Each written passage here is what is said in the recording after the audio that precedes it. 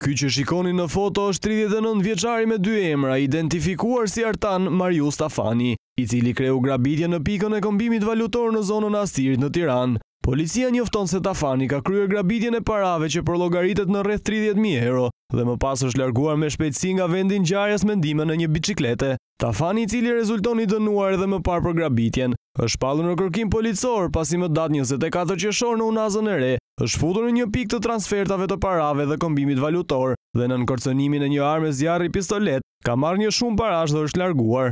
Ndërko policia ka arrestuar edhe një shtetas tjetër me inicialet M, i cili dyshohet të ketë bashkëpunuar me autorin e dyshuar, pasi ka vënë në dispozicion të ti një garaj automjetesh. Gjatë kontrolit në këto garaj, u gjetë bicikleta dhe veshit e përdorën nga autori për njarjen, si dhe një automjet që rezulton i vjedhur me 23 shkurt të këti viti në shijak të durësit. Materialet procedurale i kaluan prokurorisë pranë gjykatës së shkallës së parë në Tiranë për veprime të mëtejshme.